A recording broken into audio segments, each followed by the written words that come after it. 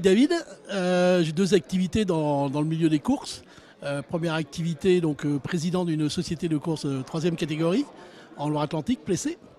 Et deuxièmement, vice-président de la société des courses de Pornichet, donc une société première catégorie, catégorie nationale, qui a 30 réunions par an. Et je suis aussi propriétaire de, de trotteurs. voilà, j'ai une écurie de course, écurie PG David avec un cheval euh, qui s'appelle Alpha Saltor, qui est un, cheval un peu connu, voilà, et qui, m'a fait beaucoup plaisir. La raison principale de, mon engagement auprès des Kisratis, c'est que je vois que l'institution des courses est en difficulté, voire en danger. Je n'ai pas l'impression vraiment qu'on a tout fait je dirais, pour, euh, pour, améliorer, pour améliorer les choses. Et donc j'ai envie de m'investir. J'ai une expérience euh, professionnelle euh, dans le milieu de l'automobile. Donc j'étais euh, pendant 35 ans dans un groupe euh, qui s'appelle le groupe Valeo, groupe automobile. J'étais directeur d'usine, directeur de division et en fin de carrière directeur industriel de ce groupe.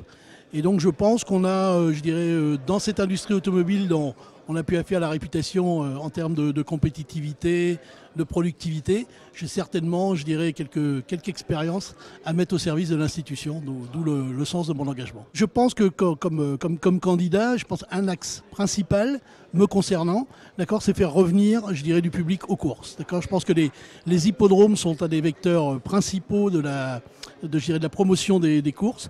Et donc qu'on soit sur un hippodrome comme Plessé, où là c'est beaucoup plus, je dirais, d'attirer les familles, d'attirer les enfants, d'avoir des, des, choses très ludiques pour attirer les gens au jeu. J'insiste sur ce point-là. Je pense que faire revenir des gens sur les hippodromes, c'est pour les faire jouer. C'est pas uniquement pour, euh, les voir euh, regarder un orchestre euh, sur le bord de piste. C'est vraiment pour les faire jouer.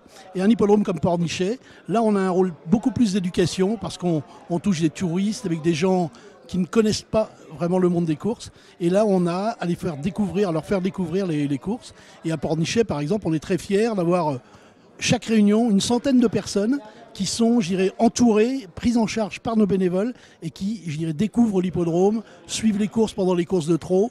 Et ces, ces gens-là, je pense qu'on les a conquis et ils deviendront des, ils sont déjà devenus des joueurs, j'en suis certain.